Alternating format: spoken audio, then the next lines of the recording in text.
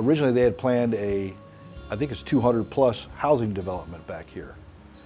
Uh, then the housing bubble hit, uh, and then we were fortunate enough to be able to work out a deal between many different local uh, government entities to come up with a plan to buy it, redevelop it in such a way that it can help uh, filter the water going into the river and uh, can be beautiful. And MIRA's vision the whole time was our part was we're going to make it look nice, make it more accessible to the public, and make it part of the downtown of Merritt Island from the get-go. The formal name is the, uh, the Lakes at Veterans Memorial Park, uh, as designated by the county commissioners. So they, they serve uh, to serve all the stormwater within a 165 acre area around the mall. Uh, so all the stormwater that comes in all the parking lots, the rooftops, everything along Fortenberry and in the mall area, the uh, lakes are designed to uh, bring in that stormwater and, and hold it, treatment, and release it uh, with a better treatment mechanism than they've had in the past into the lagoons. Uh, but we're going to be paying for the future parking, for the honor honor park, for the for the uh, amphitheater, and we're we paid for the board walking all around the the big pond, and we're paying for the exercise trail and the playground coverage. So there's a lot of little things that we're doing. All the infrastructure that goes along with that is all part of uh, what we're continuing to fund for our downtown, our vision of downtown Merritt Island. I'm told that this is the largest Veterans Memorial Park in the state of Florida.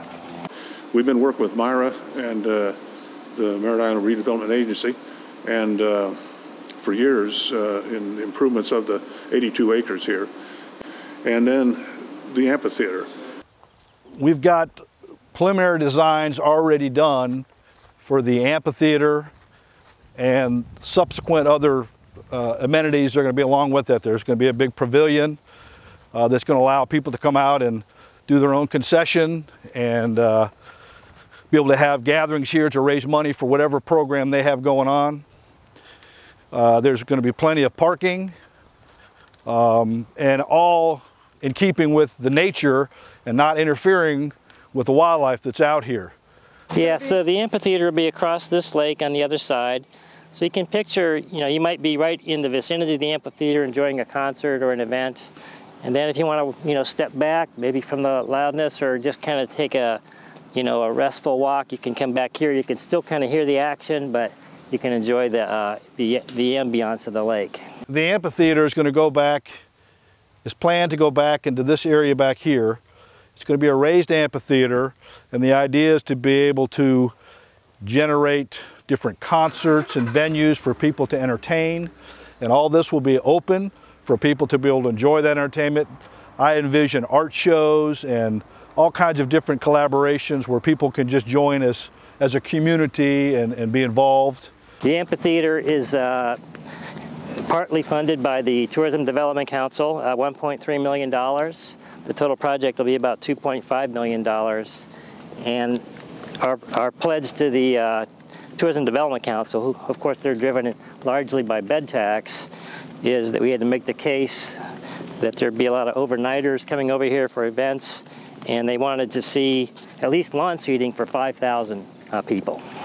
It all begat uh, from the vision of redevelopment for 520 and the necessity to keep the stormwater from rolling out into the river without being treated. So a, in, in, a sense, it's a project that will also promote the health of the lagoon by any redeveloper in the core mall area, 165 acres, uh, will be have the opportunity, instead of digging up the ground and putting losing some of their valuable land to, to uh, put in a required stormwater pond, they'll, they'll be able to uh, pay a portion, uh, a, a, credit uh, back to us. So the developer, though, they'll be able to uh, without building their own pond, they'll just will run, they'll run a pipe right into here. The water will be, will be treated. They'll have additional land for redevelopment, and they won't have to go through the one to two year permitting process. Uh, so that, that's a big boon for them and, and for us because we're going to uh, improve the uh, entire area. And someday, our long-term plan is across the lake there The grander vision is to relocate Fortenberry and create a town center for Merritt Island. So this has become a multifaceted program that's really turning out to be a great change for Merritt Island. Now I feel that MIRA's done a lot of really wonderful projects through the years and I've been fortunate to be a part of Myra for a long time. This has got to be one of the best and it, because it's a collaboration of many different county agencies to all fund a little bit, all put a little bit of effort into it together and it's making all the difference for the environment, for re possible redevelopment and for socialization, um, you know, just making the community even tighter than it was. It's a pretty wonderful project.